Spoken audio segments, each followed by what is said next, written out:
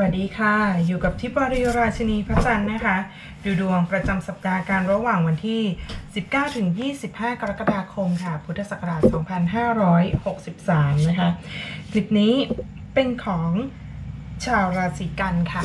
ชาวราศีกันก็คือผู้ที่มีลัคนาสถิตอยู่ที่ราศีกันนะคะ หรือผู้ที่เกิดระหว่างวันที่ 17 กันยายนถึง 16 ตุลาคมค่ะ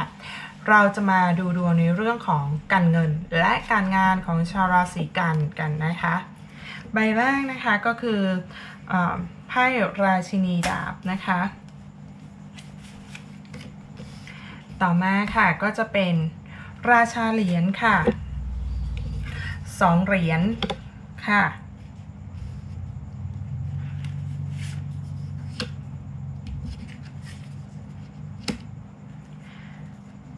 สิบไม้เท้าค่ะ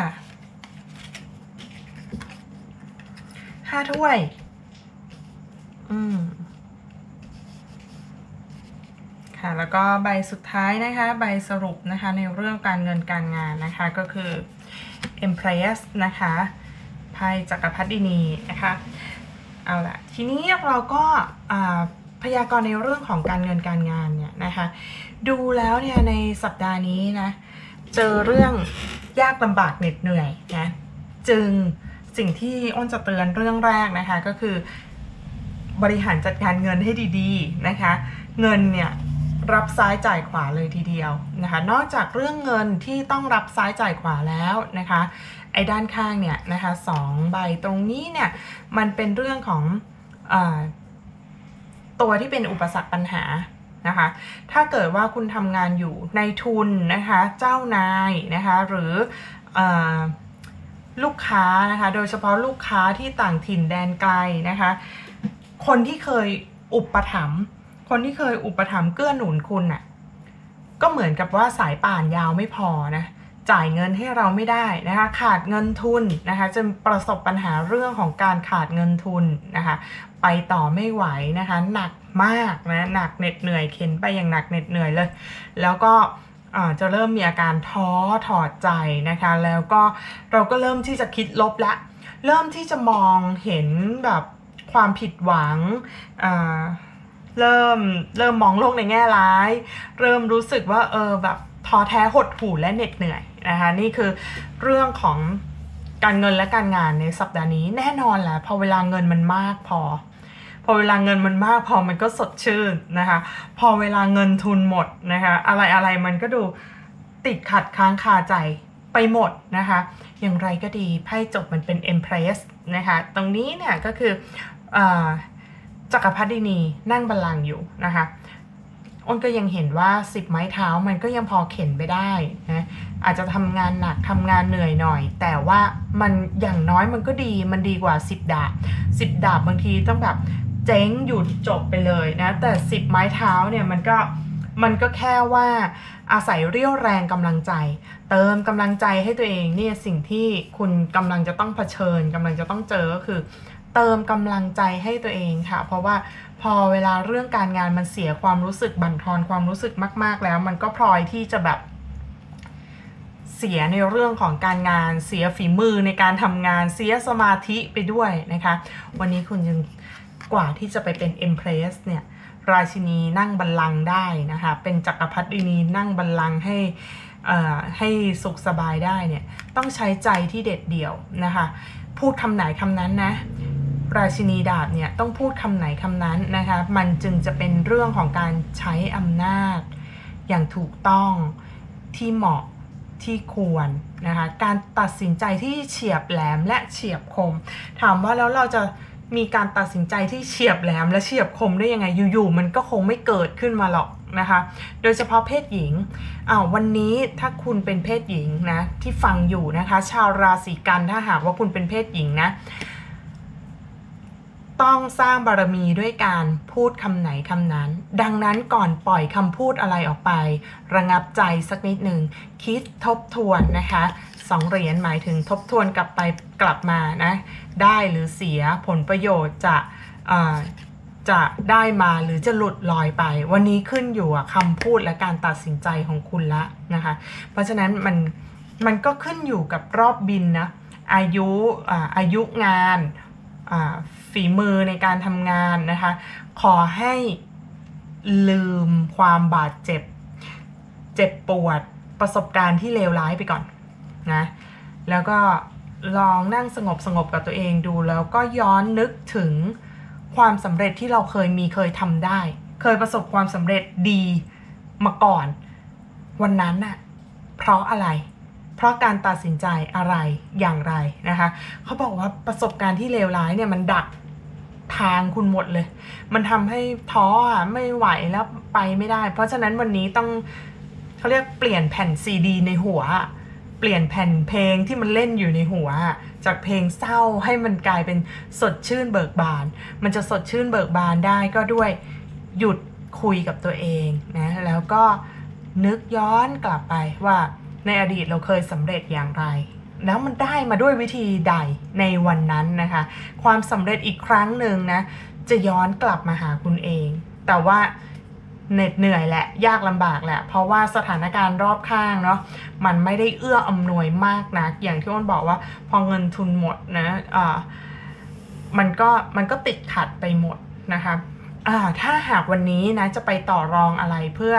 จะได้รับเงินมานะคะ ได้เงินมานะทำการบ้านหนักทำการบ้านหนักมาก ๆ หนักกว่าที่เคยนะ แต่ก็ไม่ใช่ว่าจะไม่ประสบผลสำเร็จ เพราะว่า Empress ขึ้นมานะคะ ในท้ายที่สุดปลายที่สุดนะคะ ในทางกลับกันเมื่อกี้นี้อ้นพูดถึงเรื่องของดวงชะตาของเพศหญิงนะคะ แต่ตอนนี้ขณะนี้กำลังจะพูดถึงดวงชะตาของเพศชาย ถ้าหากว่าท่านเป็นเพศชายชาวราศีกันนะคะ วันนี้เนี่ยอำนาจเงินทองอะไรต่างๆเนี่ยอาจจะไปตกอยู่ทางฝ่ายหญิงซะเยอะนะคะ เพราะเป็นราชินีดาบแล้วก็เป็นเอ็มเพรสด้วยนะคะ บางเรื่องที่เราคิดนะเราตัดสินใจไปเนี่ยอาจจะ ผู้บริหารเจ้านายผู้ที่มีสถานะเหนือกว่าเราอาจจะคัดค้านอาจจะไม่เห็นด้วยนะคะ ก็อย่าดันทุรังค่ะ ถ้าเกิดว่าเขามีสถานะเหนือกว่าเราอย่าดันทุรังไปนะคะ ให้ตามน้ำไปก่อนนะคะ แล้วก็พูดถึงประโยชน์ส่วนรวมที่องค์กรหรือส่วนรวมเนี่ยที่หรือทีมงานจะได้รับนะคะจากไอเดียหรือความคิดของเรานะคะ อย่าไปขัดแย้งหรือล้มล้างทฤษฎีของใครนะคะ โดยเฉพาะวันนี้เนี่ยคุณเสียเปรียบเพศหญิงนะผู้ชายชาวราศีกันวันนี้จะเสียเปรียบเพศหญิงนะคะ เพราะฉะนั้นยิ่งเพศหญิงที่เป็นเจ้านายเป็นผู้ใหญ่กว่านะคะ สงบปากคำไว้แล้วจะพูดอะไรคิดให้ดีๆ คิดให้รอบคอบค่ะเอามาในเรื่องของความรักกันนะคะของชาวราศีกันค่ะ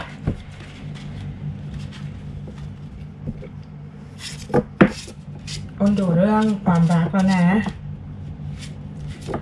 ค่ะ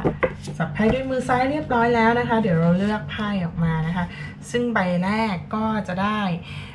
ไพ่เจ็ดดาบนะคะ ใบต่อมาได้เดทค่ะอ้าวต่อมาก็ได้แปดดาบค่ะจัติส ราชินีเหรียญค่ะ จบลงด้วยเฮโรแฟนชาวราศีกันเนี่ย เป็นราศีที่จากสถิติที่อ้นดูมานะ เกิดรักซ้อนเป็นราศีต้นๆนะเกิดรักซ้อนเป็นราศีต้นๆเลยนะคะ เจ้าชู้มีเสน่ห์นะคะ ชาวราศีกัน นั่นแหละ มันมันจะเป็นบ่วงเป็นกับดักที่ที่ฆ่าตัวเองนะคะของชาวราศีกัน วันนี้พอเจ็ดดาบขึ้นเนี่ยเจ็ดดาบเนี่ยความหมายมันก็คือขโมยค่ะ ขโมยอะไรนะมันมันเป็นเรื่องอ่าเล่เหลี่ยม เล่กล ความไม่ชอบมาพากลการเล่นไม่สื่อไม่ตรงนะคะอันนี้ก็เลยส่วนใหญ่เขาก็เลยเรียกกันว่าไพ่หัวขโมยนะหอบดาบขโมยดาบในยามวิกาลแล้วก็ ย่องออกไป หนีออกไปนะถ่ายเทอาวุธออกไปจากค่ายนะคะ ดังนั้นค่ะชาวราศีกันในในวันนี้นะให้ระวังตัวเองดีๆนะขาดใครที่มีเรื่องรับลมคมในไม่ชอบมาพากลนะคะ เรื่องรักซ้อนนะ justice ขึ้นมาเนี่ยบอกว่าจะถูกพิพากษานะ บางทีอาจจะโป๊ะแตกนะ ความลับแตกนะคะ ต้องอยู่นิ่งๆ สงบสงบมากๆเลย แล้วก็อาจจะเป็นอรอบที่คุณจะต้องเลือกที่จะต้องตัดสินใจนะ ที่จะต้องตัดสินใจอย่างแฟร์บริสุทธิ์ยุติธรรมนะคะไพ่เฮโรแฟนขึ้นก็คือพอพอพ้นจากเรื่องลับๆเทาๆ เรื่องการผิดศีลอะไรต่างๆเนี่ยนะคะ มันเหมือนกับว่า ปวดหัวจนจนเรื่องราวของรักซ้อนมันกำลังจะจบลงแล้วนะคะแล้วก็ไม่รู้ว่าคุณเป็นฝ่ายรักซ้อนหรือไม่รู้ว่าคุณอ่าเผชิญกับคนรักที่เขามีรักซ้อนนะคะไม่ว่าจะอย่างไรไม่ว่าจะเป็น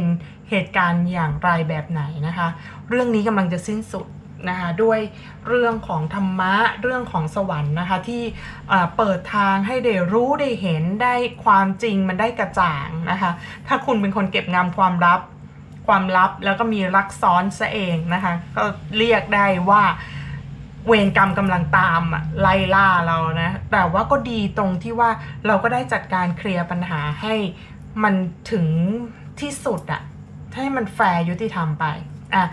คนที่มีครอบครัวเป็นหลักเป็นฐานมั่นคงแล้วไม่ได้มีรักซ้อนไม่ได้มีอะไรนะคะ ก็น่าจะได้เดินทางไกลนะคะไพ่เดทอีกความหมายหนึ่งก็คือเดินทางไกลนะคะ ไปกับคู่รักคนรักแต่ ให้ระวังนิดหนึ่งนะคะ เดินทางไกลแล้วเดทเนี่ยมันไม่ใช่ไพ่เดินทางไกลแบบเดอะฟูลท่องเที่ยวประจนภัยนะเดทมันมักจะมากับความลำบาก เพราะฉะนั้นถ้าหากเดินทางนะคะ อาจจะติดโรคระบาดได้ให้ระวังนะคะ ส่วนถ้าอยู่นิ่งๆ อยู่กับที่นะกักตัวเองเอาไว้นะคะ ก็จะได้เก็บทรัพย์ได้รับทรัพย์ได้มีโชคมีลาบ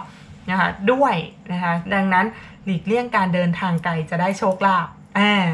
แตกต่างกันนะ บางทีนะ บางทีเดินทางไกลจึงจะได้โชคลาภใช่ไหมไปขอพรสิ่งศักดิ์สิทธิ์แดนไกลอะไรอย่างนี้นะคะ แต่ว่าครั้งนี้นะคะมันแปดดาบมันขึ้นมันขังเราอยู่ไง เพราะฉะนั้นหลีกเลี่ยงการเดินทางไกลขังตัวเองอยู่ในที่จำกัดทำบุญสวดมนต์วิปัสสนานะคะ อันนี้นะไพ่นี้นะคะ อยู่ในที่ที่จำกัดนะ พอเวลาจะเข้าไปบวชอะจะเข้าไปบวชเข้าไปถือศีลมันจะเป็นภาพเนี่ย ไพ่นี้เนี่ยเปรียบเสมือนไพ่ที่อยู่ในตำแหน่งวินาศในภาษาโหราศาสตร์เขาเรียกวินาศคือถูกกุมขังนะคะ เราอยู่ในสถานที่ที่จำกัดนั่นเองคือไปบวช